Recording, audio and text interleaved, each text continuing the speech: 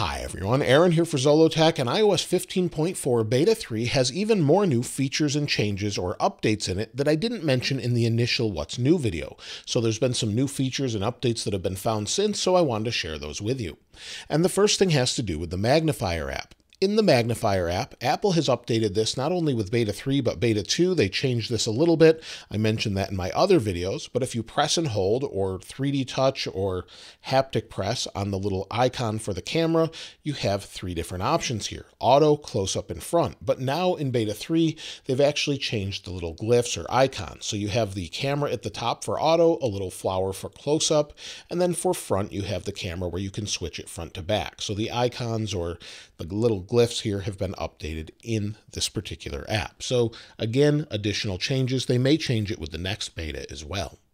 The next thing has to do with the TV app. So if you use the TV app, I mentioned in beta 2, there's a new option.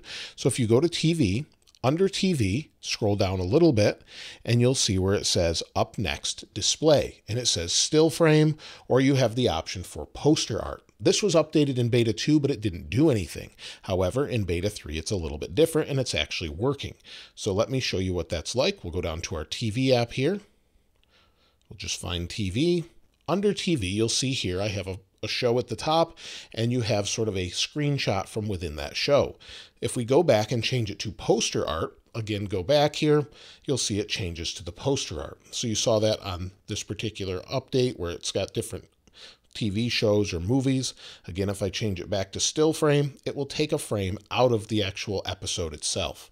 So it's up to you what you'd like to see, but they've updated it in Beta 3 to show different things. Within Beta 3, Apple has updated Keychain again, so when you save a password, with Beta 2 you could add notes, but in Beta 3 you can no longer save a password without inputting a username.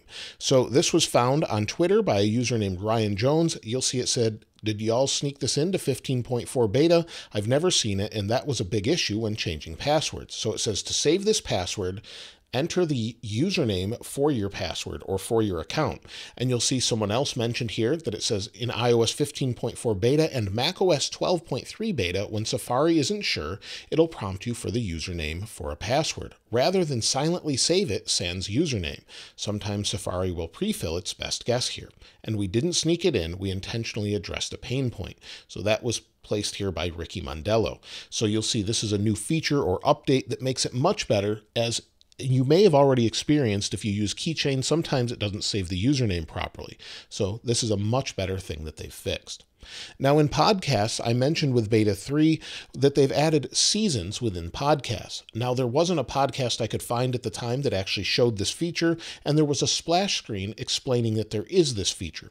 And now you can see here with Against the Odds that we have different features that show the different seasons. So this is something I couldn't find before, but there's a couple different podcasts out there that have this updated where you can sort by season now. So find your favorite podcast. If it has a bunch of seasons, once they update it, you'll be able to sort by that. So that's very nice if you've been trying to find different seasons. I know it would be nice to add to certain podcasts, such as Serial that I have here. They haven't added it yet, but maybe in the future they will. So if we go back, I checked all these different ones here, but you'll see there's just episodes unplayed and downloaded instead of seasons. So I'm glad to see they've added that. Now within settings, they've made some changes as well. So if we go into settings, we'll go back, we'll go to notifications, and under notifications, if you go to scheduled summary and you have that turned on, under scheduled summary, you'll see at the bottom, it says apps in summary. Here it says weekly notification average. Before this was daily. So they've updated this to be weekly. You can switch it A to Z, but now it's a weekly notification average. And you'll see my weekly on Twitter is 1,260 notifications. So I get a lot of those. And you can see this gives you a better idea over the week what's using most of your time in notifications so you can better customize those per app. So that's something they've updated as well. Also in beta 2 and beta 3, within the Stocks app, they've made a change as well. So within Stocks, we now have these three dots here, and I've mentioned this in a previous video partially, but these three dots they've updated where you can now copy the link, share the story, or save to Apple News. Prior to this, you actually had to go into the article itself to actually share it. Now you can do it directly from the article before going into it. So that's something that's small, but they've updated in beta 3. Additionally, in Beta 3, there's also new notifications that we can't see yet. My friend Steve Moser found these, and as you can see, this is for notes, and I knew this was here, but I didn't mention it as we weren't really sure what it did, but we know that it's going to be a new notification prompt. In addition to this, with previous betas, there's also different notification prompt styles. So you'll see one here for maps, and there's also one here for health. So it looks like they're updating this. Maybe we'll see it by the time it's fully released to the public. But there's not a whole lot new other than what we see here.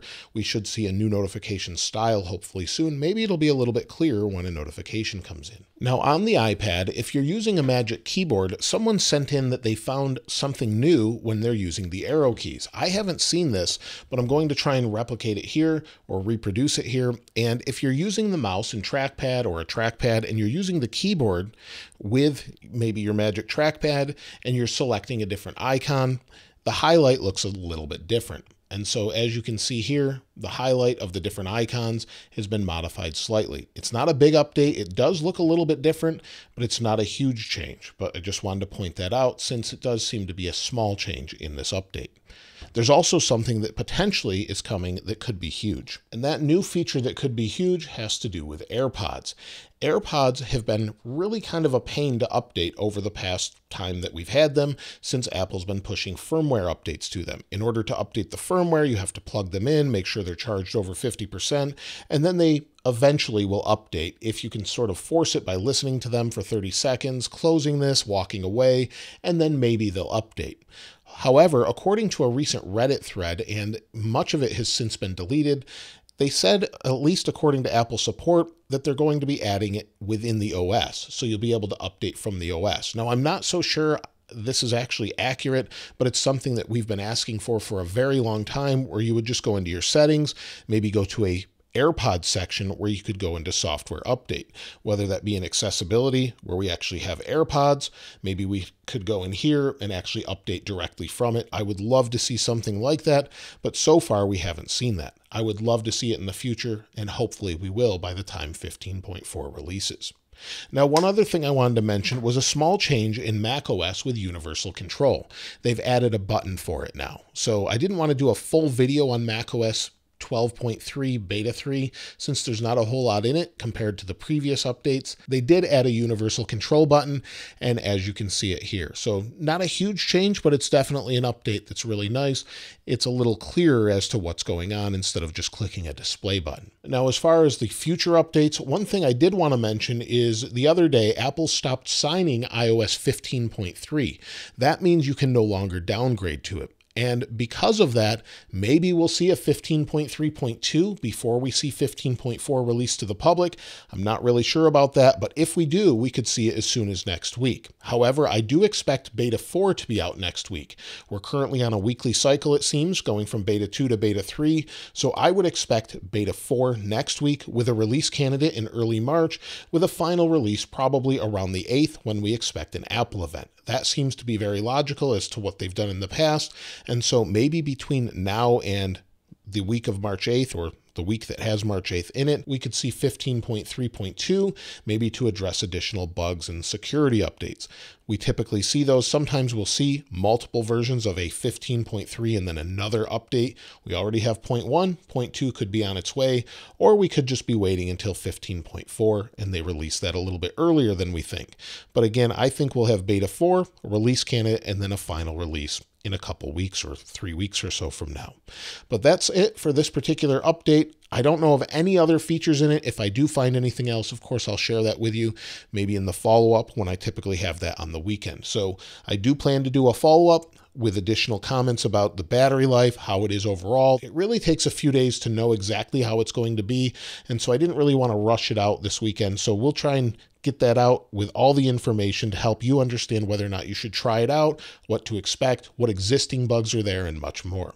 If you found anything else, though, in 15.4 Beta 3, I'd love to hear from you in the comments below. And of course, if you'd like to get your hands on this wallpaper, I'll link it in the description like I normally do. If you haven't subscribed already, though, please subscribe. And if you enjoyed the video, please give it a like. As always, thanks for watching. This is Aaron. I'll see you next time.